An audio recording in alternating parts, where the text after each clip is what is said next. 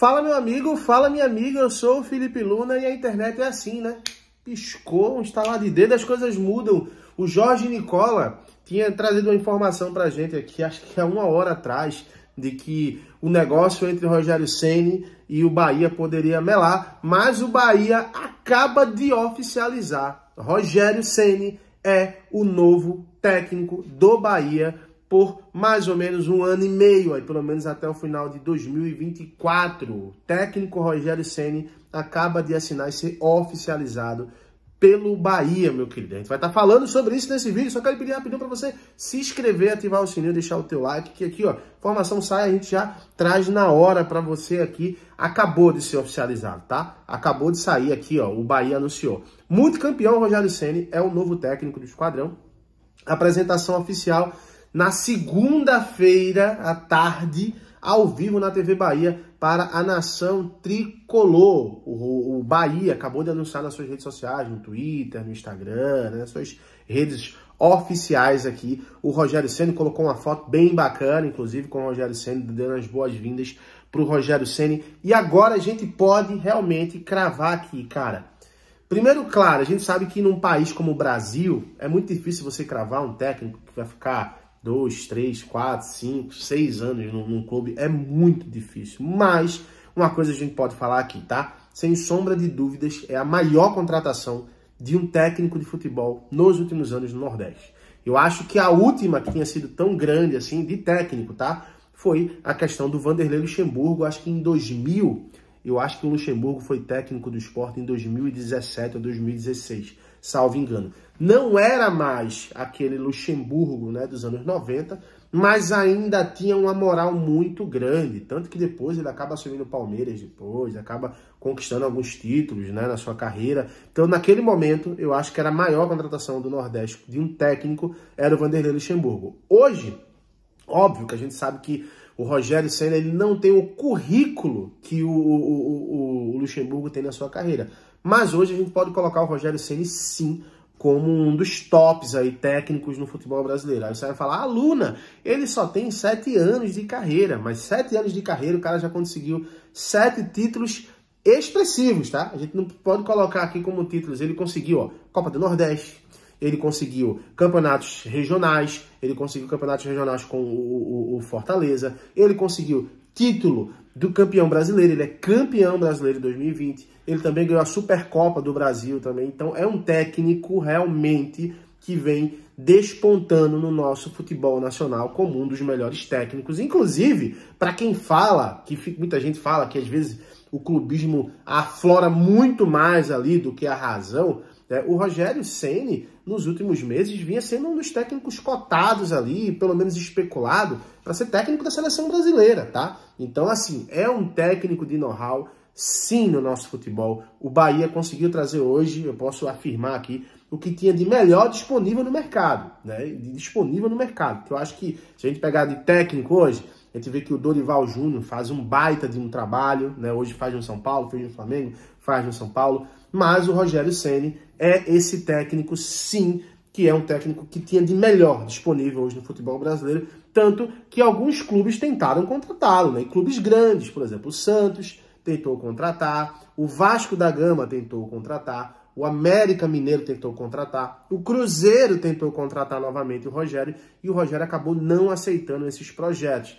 Tanto que se a gente analisar, nos momentos que o Cruzeiro, o Vasco e o Santos tentaram contratar o Rogério Ceni, o, o, o, momento desses times era melhor do que agora, porque hoje o Santos está numa pindaíba danada, hoje a gente vê o Vasco numa pindaíba, um América no pindaíba, um Cruzeiro ali capengando, mas se mantendo ok, pelo menos ali, né? Então o Rogério ele acaba escolhendo o projeto que tem de melhor hoje disponível para o mercado, porque você está entrando num grupo que é multicampeão também mundial, né? Um grupo City que tem vários projetos de sucesso em todos os continentes do mundo, inclusive o grupo, claro, o grande projeto de sucesso do Grupo City é o Manchester City, né, que conseguiu aí, inclusive, na última temporada, ganhar a Premier League, né, a Premier League e também o principal, que é a cereja do bolo, a Champions League. Então o Rogério Senna acaba indo jogar, trabalhar no Bahia, tá? Primeiro, óbvio, é a grandeza de estar num time grande, né, do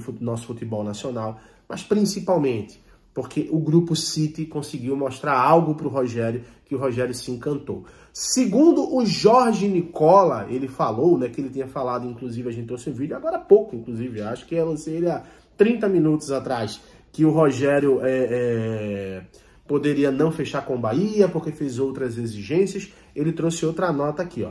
Sem intermediários. Ceni fechou agora com o Bahia. Pacote mensal acima de um milhão por mês. Técnico fez exigências extra-campo. Algumas atendidas, outras rejeitadas. Então agora o, o Jorge Nicola, que trouxe a primeira informação, e a gente inclusive creditou ele aqui no último vídeo, ele agora faz esse adendo, né? Se a gente pode colocar aqui, adendo na notícia, informando que o Rogério Senna fez algumas exigências extra-campo, pode ser alguma coisa de, de, de, de, residência, não sei, de transporte, algumas foram exigidas, outras não. E, cara, eu tô muito ansioso agora para ver a coletiva de apresentação do Rogério Ceni. A gente precisa agora entender, tá? Qual vai ser o projeto do Rogério Ceni. E aí é um conselho que eu dou pro torcedor do Bahia. É, por mais que seja um técnico com know-how, por mais que a gente precise, e aí a gente quando fala, é, todos nós que somos torcedores, precisamos acreditar nos projetos dos nossos clubes, tá? Mas o Rogério Senna, eu acho que a postura da torcida tem que ser um pouco diferente do que foi com a do Renato Paiva, de no começo ali aceitar tudo, né? Porque tudo que o Renato Paiva falava, todo mundo aceitava. Então, por mais que o Rogério Senna, para mim, seja mas muito mais técnico do que o Renato Paiva, tá? Ele é passivo de erros também. E óbvio, ele precisa sentir a grandeza da torcida do Bahia. Isso era uma coisa que o, o, o Renato Paiva ou não sentia. A minha cachorrinha aqui, tá, gente? Se estiver tremendo aqui, é a minha cachorrinha. Ou ele não sentia, ou ele fingia que não sentia. Né? Porque, de fato, a pressão poderia ter sido muito maior do que foi, pelo menos no início. Talvez, se a postura fosse outra, talvez o negócio tivesse sido diferente, mas agora já passou também. Agora é o Rogério Ceni, é o técnico do esquadrão e outra coisa, tá? O Rogério não vai poder reclamar que tem um elenco limitado, ele tem um bom elenco. Claro, tem uma peça ou outra que qualquer clube, nenhum clube tem 100% das peças. Tá? Se pegar o Real Madrid, tem problema em algumas situações de, de, de posicionamento, escalação, sempre precisa de uma posição aqui outra colar. O Rogério tem um bom time, tá? Então ele tem um time sim para livrar, livrar o Bahia do rebaixamento e tem um bom time para quem sabe, inclusive, brigar por uma vaga na Sul-Americana, que seria sensacional para o Bahia, tá? No seu segundo ano de projeto, já voltar a jogar um torneio internacional seria maravilhoso. Todo sucesso para o Rogério Senna, espero que ele tenha muito sucesso né, tenha muitos triunfos né, como técnico do Bahia e que dê muita alegria para esse torcedor que está precisando, né? Está precisando de alegrias aí porque está sendo um ano bem difícil para o torcedor do Bahia. Quero ver a tua opinião, gostou do Rogério Senna? Deixa aqui nos comentários e, é claro, qualquer atualização, outra informação, eu volto a qualquer momento, trago tudo na íntegra. Aqui é assim, irmão. Saiu a informação, a gente para tudo e traz na hora para vocês, tá bom? Fiquem com Deus, até a próxima. Tchau, tchau.